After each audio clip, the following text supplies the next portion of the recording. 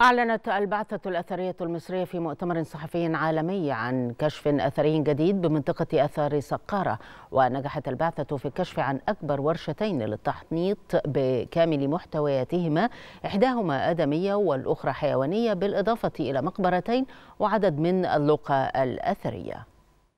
كنوز وأسرار لا تنضب من أرض الكنانة لتبوح لنا بأسرار عظمة القدماء المصريين. فتزينت منطقة سقارة الأثرية باكتشاف أثري جديد من الأسرتين الخامسة بالدولة القديمة والثامنة عشرة بالدولة الحديثة. بنعلن الكشف عن أكبر ورشتي تحنيط آدمية وحيوانية في منطقة سقارة. الورشة اللي إحنا بنتكلم فيها إحنا واقفين عندها دلوقتي دي الآدمية. السراير اللي كانت بتتغسل فيها الأجساد بنلاقي فتحة صغيرة نسميها المزراب اللي كانت بتنزل المية بعد بعد الغسيل. لقينا الأدوات اللي استخدمها المصري القديم في فتح الجسد عشان يطلع معدة وأمعاء وكبد ورئتين.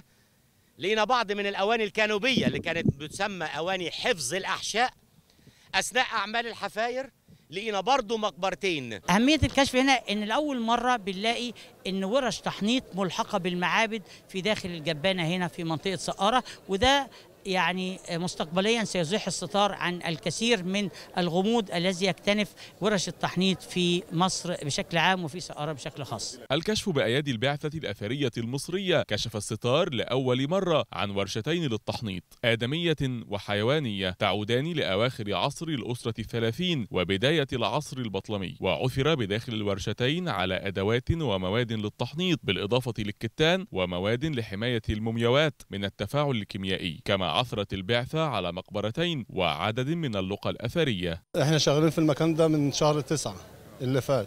كان كمية الرديم زي ما انت شايف الدكتور مصطفى قال بنفس المنسوب كده بدأنا نرفع الرديم واحدة واحدة.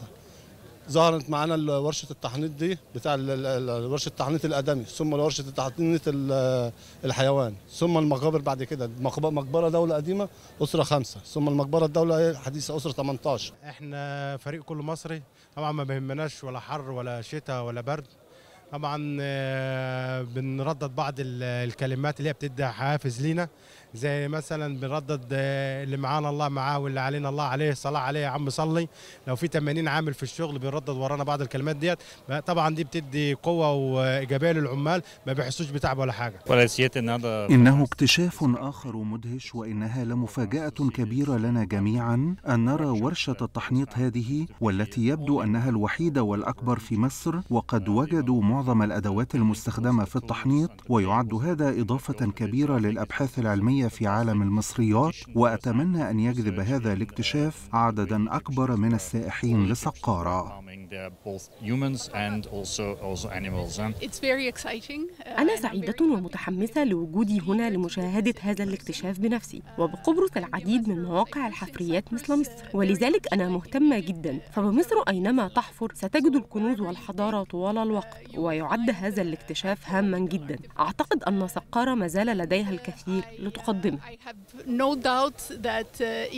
أما المقبرتين نيح سوتبا ومن خبن رع من عصر الدولتين القديمة والحديثة فكان اكتشافهما نتيجة عمل استمر لما يقرب من ثمانية أشهر منذ أغسطس 2022 التي بدأت بإزالة الرديم والرمال وصولا للكشف الأخير الذي يعد واحدا ضمن خمسين بعثة أثرية مصرية تعمل على مستوى الجمهورية. متحف أثري مفتوح. منطقة سقارة التي أدهشت العالم باكتشافات أثرية مميزة تعود إلينا بسر جديد من أسرار التحنيط الذي حير العلماء وأكد على سبق وتطور الحضارة المصرية القديمة.